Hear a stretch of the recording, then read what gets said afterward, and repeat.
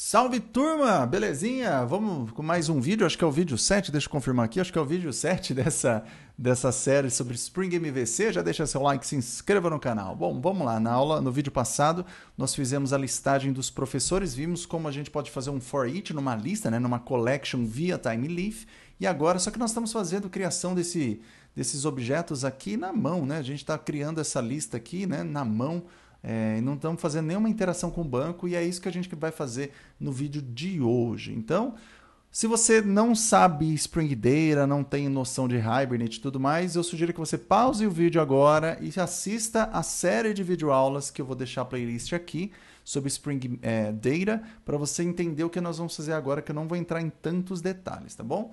Mas se você já está sabendo, não vai ter nenhum problema. Então vamos lá, a gente já tem a nossa tabela, a nossa entidade, né? Já aqui da, do Java já está mapeado para uma tabela no banco.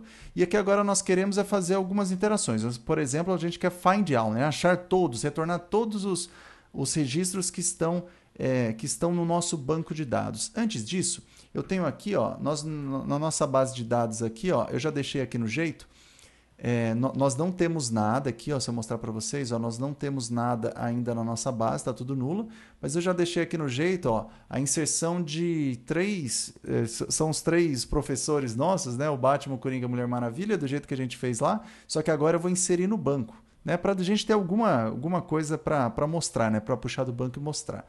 Então aqui ó, eu fiz os inserts, fez os três inserts aqui, vamos atualizar aqui a nossa consulta, muito bem, agora nós temos os três os três professores com o ID batendo aqui. Tá bom. Vamos puxar essa galera do banco, né? Para isso, para que a gente tenha é, para que tenha o acesso no banco, a gente precisa criar um repositório para nossa entidade. Então eu vou criar aqui uma, uma classe chamada, um pacote chamado repository, que seria o repositories, que seriam os nossos repositórios para as nossas entidades, para os nossos modelos. E um deles que a gente vai criar vai ser o Professor Repository, que é uma interface, na verdade. Professor Repository, que é a nossa interface, como a gente mostrou nos vídeos lá atrás do, de Spring Data, será nossa, é, nosso repositório de interações com o banco de dados. Eu preciso marcar aqui que isso aqui é um repositório. Então vem aqui a anotação. E agora eu preciso estender de algum, algum repositório do próprio Spring, né? Nos vídeos lá do Spring Data eu estava usando esse CRUD, ó, o CRUD Repository, estava usando esse. Mas agora eu vou usar um mais específico ainda, que se chama JPA Repository. Eu já vou mostrar um pouquinho as diferenças. Ele segue mais ou menos o mesmo padrão do CRUD Repository, que está naquela listagem, naquela série de vídeos de Spring Data. A primeira coisa que você tem que passar é a entidade que você quer criar um repositório, nesse caso é professor professor. E você tem que passar o tipo da chave primária desse, dessa entidade, que no caso é um long. Então, ó, o que eu vou fazer, feito isso, a gente já tem um monte de métodos prontos. Todos os métodos de CRUD já estão prontos. Pelo seguinte, ó, se eu for aqui na, na especificação dessa, desse do JPA repositório, esse JPA repositório, por sua vez, ele herda de, uma, de um repositório chamado de paginação e ordenação, que se a gente for na definição desse repositório, ele herda de CRUD Repository. E se eu for no CRUD Repository, aí sim ele vai na nossa classe pai ou mãe, mais acima que é o repositório. Então, quando a gente usa o JPA, que é, seria a interface mais baixa, ela já tem todo acesso a coisas como CRUD, que vem aqui do CRUD Repository. Então, nós teremos acesso ao Find All, que é o que nós queremos para é, para fazer a listagem de todo mundo do banco. Nós teremos também acesso ao Find All de passando, é, podemos passar paginação, por exemplo, traga para mim só os 10 primeiros do banco. A gente pode ter, porque essa parte de paginação, ela vem desse repositório específico que chama é, Paging Sorting Repository, que por sua vez herda também do CRUD Repository. Então, se a gente usasse, na verdade, esse repositório, a gente teria esses dois métodos aqui. E nós também teríamos tudo que tem no CRUD, mas a gente faz um pouquinho mais. Nós temos aqui o JPA que estende mais algumas coisas. Ele, tem, ele pode fazer a deleção, né, a remoção de coisas em batch, né, em, passando em lote, né, seria, né, passando bastante coisa. Tem algumas coisinhas que a gente pode fazer aqui também. Então a gente vai usar esse JPA repository nesses vídeos. Por padrão a gente vai usar isso. Muito bem, só fazendo isso a gente já tem muita coisa do banco de dados, a gente já tem esse repositório, então o que, que eu vou fazer? Vou vir aqui no meu controller e aqui eu vou criar um atributo que vai ser o professor repository, não é controller, é professor repository, eu vou querer o nosso repositório de professor aqui. Então a gente viu isso. Nós vimos também na, na série de videoaulas sobre Spring Data que o Spring ele gosta muito de criar coisas para nós automaticamente e injetar essas dependências, esses objetos criados para nós. Então note que quando a gente coloca aqui o professor repository dentro do nosso controller, nós temos aqui uma dependência. Nós temos que o nosso nossa classe professor controller ela está dependendo de um outro objeto, que no caso é um objeto que eu não sei como está sendo criado e ele, na verdade, esse objeto que está sendo criado, vai ser criado de alguma maneira, ele, na verdade, será referenciado como uma, uma interface, uma interface. Nós não podemos dar um new nessa interface. Então, o que, que acontece? Automaticamente, o Spring ele vai criar para nós um objeto específico com todas esses CRUDs, com todas essas funções para nós, e vai passar a referência para esse professor repositório para nós, esse professor repository. E vai injetar esse objeto essa dependência para onde quem está precisando. Então, como nós colocamos que esse professor repositório é um. Tem, anotamos com underline repository, ele vai criar um objeto associado a essa referência e injetar quando a gente, sempre quando a gente precisar.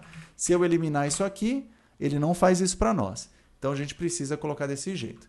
Então agora eu vou te mostrar duas maneiras que nós podemos fazer isso. A maneira que nós vimos no, nos vídeos lá de Spring Data é criar um construtor para nossa classe. Então eu teria que criar aqui um construtor para a classe aqui, que nesse caso seria o controller, teria que passar as dependências, professor repository, professor repository, fazer algo assim, um this.professor repository igual professor repository. Se a gente fizer isso, o que, que acontece? O Spring ele vai ver que essa, essa classe na criação ela vai precisar dessa dependência, ele cria essa, o objeto dessa dependência e injeta para nós automaticamente ele faz isso. Mas uma outra maneira que a gente pode fazer, que é o que nós faremos a partir de agora, é o seguinte: ao invés de usar isso, a gente pode usar uma outra anotação, mais uma anotação para o teu dicionário de anotações aí, para a tua base de anotações, que é o auto-wired. Então a gente pode usar essa anotação que é o auto-wired, que vem aqui ó, do Spring é, das anotações. O que, que ele faz? Ele vai falar o seguinte, ó ele vai, ele, você está marcando essa anotação como auto-wired, ele vai ver que é uma dependência e ele vai injetar essa dependência, criar essa, é, esse objeto para você, vai injetar automaticamente sem que você passe esse controller aqui. É isso que ele vai fazer. Então ele cria tudo para você e já, def já define que isso aí é uma dependência, ele passa tudo isso para você sem você se preocupar. Então, uma vez que esse profe é, professor controller for instanciado, que também vai ser instanciado automaticamente, durante a criação desse objeto do professor controller, o Spring já vai criar um objeto do repositório e vai injetar para você essa dependência. Então, a gente pode fazer dessa maneira. Muito bem, feito isso, ó, eu vou apagar todos esses professores aqui, ó, que a gente criou na mão. Vamos apagá-los aqui. E agora o que nós vamos fazer é o seguinte, ó. Nessa listagem que nós não temos mais o arrays list aqui, ó, vou apagar isso aqui. Tanto que nós não temos mais aqui ó, o status professor, podemos apagar, não temos mais esses dois aqui, podemos apagar isso aqui, deixar só esses imports. O que nós vamos fazer agora é o seguinte, ó, nós vamos chamar então o nosso this.professorRepository e agora a gente tem um método findAll. E note que o findAll está retornando uma lista de professores para nós automaticamente ele está fazendo isso. Se você olhar aqui, ó, tem uma diferença para o repositório que a gente usou na, na, na série de videoaulas sobre o Spring Data. O JPA Repository está retornando para nós então uma lista, tá vendo? Está retornando no Find All uma lista. Se você for aqui indo na hierarquia dessas interfaces e até chegar aqui no CRUD Repository, que era o repositório que nós estávamos usando na, no, na série de aulas sobre o Spring Data, nós vamos ter aqui um iterable, um iterable, né? seria na pronúncia americana. Nós teríamos aqui um objeto, uma coleção iterável. Quando a gente usa o JPA, fica alguma coisa mais, é, é, mais concreta para nós, digamos assim, que é uma lista. Então a gente vai usar o JPA aqui, ó, que é a lista. Ele retorna no find all uma listagem para nós. Muito bem, feito isso, ó, esse método já é feito automaticamente para nós pelo Spring Data, não precisamos nos preocupar, simplesmente podemos passar agora essa nova lista de professores aqui para o nosso índice, tá bom? Que isso vai dar certo. Eu vou salvar aqui, tá bom? Então aqui vamos ver agora o que, que acontece. Em teoria não é para mudar, porque opa, vamos aqui, ó, não é para mudar porque eu coloquei exatamente a mesma coisa, ó. Vou dar um reload, um reload aqui. E tá dando algum pau para variar, vamos ver o que está acontecendo aqui. Aqui eu já achei, ó, tá dando problema como eu inseri na mão esses dados, eu inseri com o valor errado. Ó. Eu coloquei que a Mulher Maravilha, ela tá inativa, mas a gente está usando no masculino, inativo.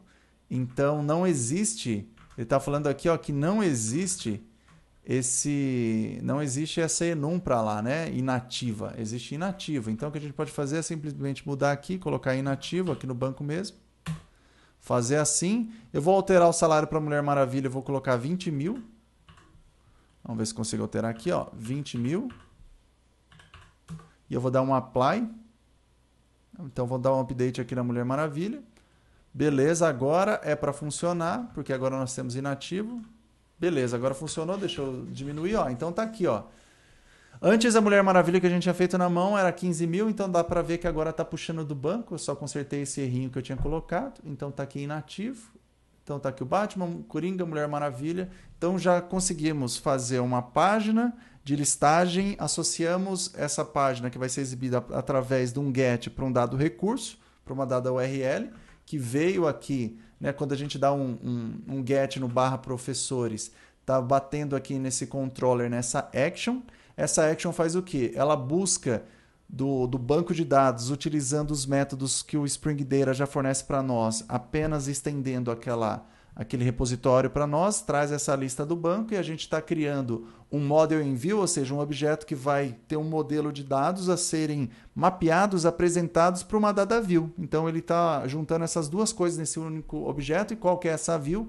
A view está em professores barra index. Então o que, que faz? O Spring vai procurar dentro de templates uma pasta chamada professores e o arquivo chamado index.html e por, além de fazer isso, a gente está adicionando um objeto, né, um atributo, para o nosso, pro nosso model in view, que vai ser para o nosso objeto de requisição, que vai mostrar para a página. Estamos chamando de professores, professores, retornando esse model in view aqui. Na nossa página, a gente está usando aqui o time leaf para fazer essa listagem para nós. Note que tem várias coisinhas, é um pouquinho complicado, mas na prática acaba não sendo tão complicado porque a busca do banco de dados já está feita, é só você seguir esse escopo aqui do TimeLeaf, também você consegue fazer a sua, a sua representação, a impressão desses valores de maneira fácil. Então está tudo aqui muito bonitinho. Então é isso por esse vídeo. No próximo vídeo a gente vai fazer o nosso primeiro formulário para começar a criar objetos na nossa base de dados. Então é isso por hora, pessoal. Até o próximo vídeo.